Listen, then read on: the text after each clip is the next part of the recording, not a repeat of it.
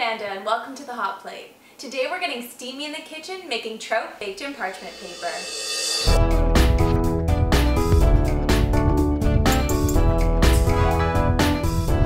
Baking in parchment paper is a simple and stress-free way to have dinner for one. It also is an elegant way to present a meal when you're having guests over for dinner. We're going to be using trout with a little bit of dill to give it a nice summery kick.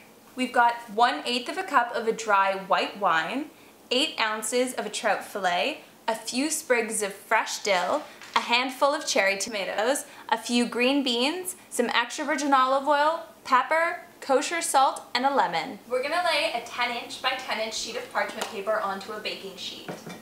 In the center of the baking sheet, drizzle one tablespoon of extra virgin olive oil. Then lay a single layer of our green beans. Spread out a few cherry tomatoes and then top the green beans with our piece of trout.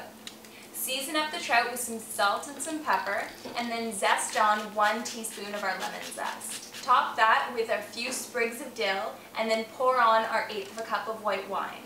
To seal the parchment package, we're going to have to fold up all of our sides. The trick is, is to pick two sides, fold them up until they meet along the edge, and then fold them down. Making sure to run your fingers along so that you have a solid crease. This will keep the parchment paper folded while it's in the oven.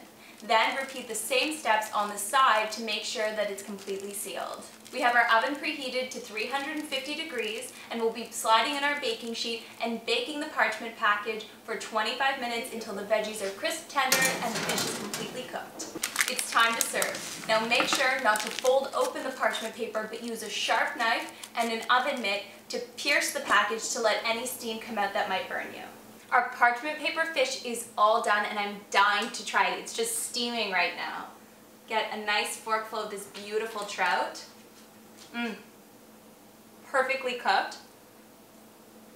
Mmm. Oh, just those bright flavors, that wine, the dill, the lemon, it just tastes healthy. This just tastes like an amazing dish whether you're eating alone or you're serving it for guests. Thanks so much for checking out The Hot Plate. Make sure to check out this and all of our other episodes and recipes at thehotplate.com and updates on our Facebook page, facebook.com slash thehotplate.